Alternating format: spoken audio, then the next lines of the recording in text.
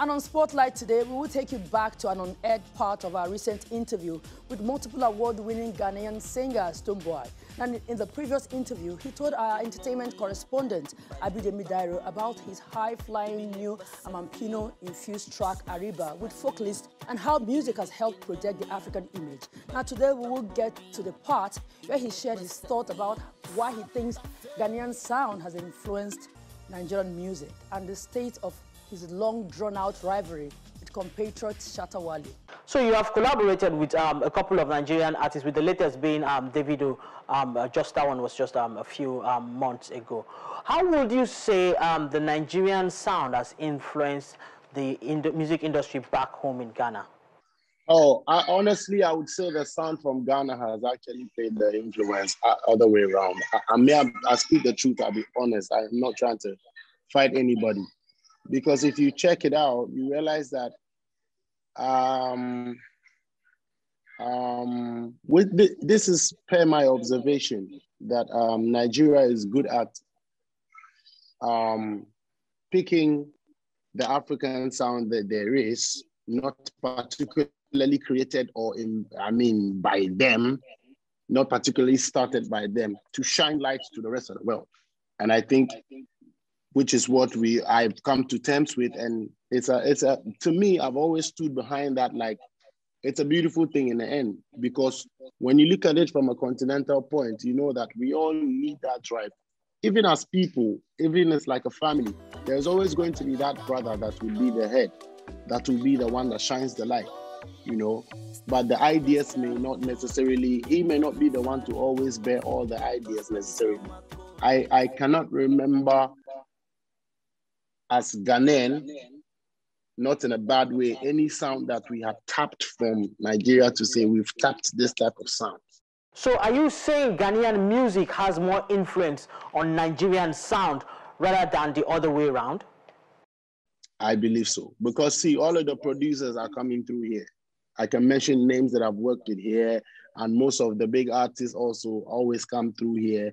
I mean, I want to be received in a good light for what I'm saying, not in any negative way. Do you get what I'm saying? Because if there was and there is, as truthful as I am, I'll speak about it. Maybe I'm not aware. You know what I mean? If you told me about a sound like a Seun Kuti sound spreading through, then I know that okay, because he's he does that currently.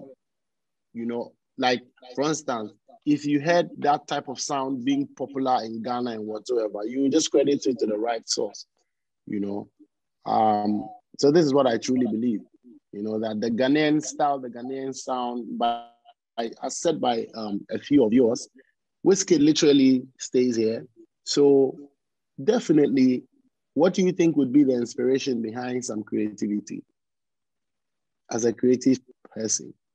All right, so this will lead us straight into the age-long um, rivalry between Ghana and Nigeria. You know, um, if if it's been in football, in um, um comparing jollof rice and, and all of that, there's always that rivalry um, between Ghana and, and Nigeria. But it, within the music space, it appears like you guys are, are, just um, ignoring the rivalry because seeing you and Davido again, I, I, go back to that new track that you had with Davido. Seeing you and Davido collaborating and seeing you um, outside talking about Nigerian music, Nigerian musicians also talking about Ghana, Wizkid living in Ghana to make his last album and all of that. It appears like um, the music space is insulated from that rivalry. How, how do you guys um, in, in the music space manage that rivalry?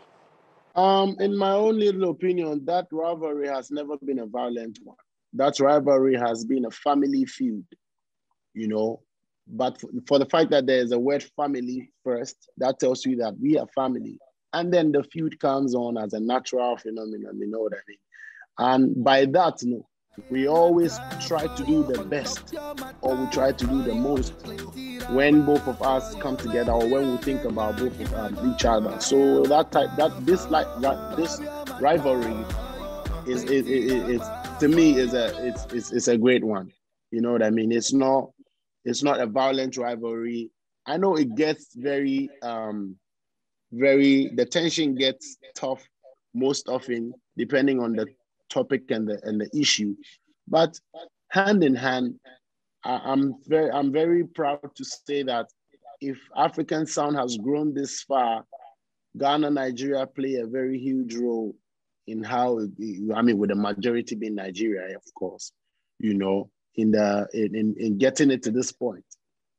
And that rivalry plays a part.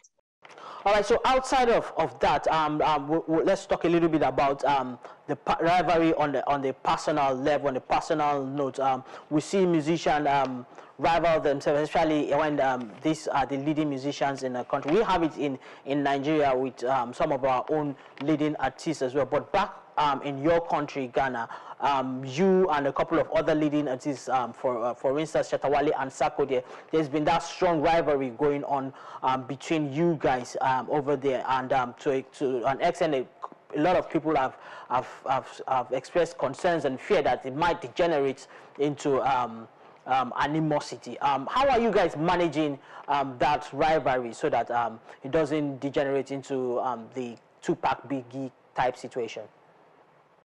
Mm, thank you very much. I think I take that one in good faith, being that it is similar to whatever may be happening also in Nigeria, because you see the Davids and the Burnas and the Wizzes and so on and so forth. Truth be told, I think for now, the few that you guys have been hearing about me and Shatta basically can never get any personal between him and I. I mean, it used to be very tough, tough it used to be, but I don't think anything uh, would ever, you know, get get get get get us to to to react, eh, you know, especially me, because I can talk for me. I don't think anything will get me to to go in that light, you know, as deep as it used to be any longer, because the focus has always been to reach high. You know, once and once I'll come out to let them know the lion I am, you know, as humble as I am, but you know, we're keeping it up.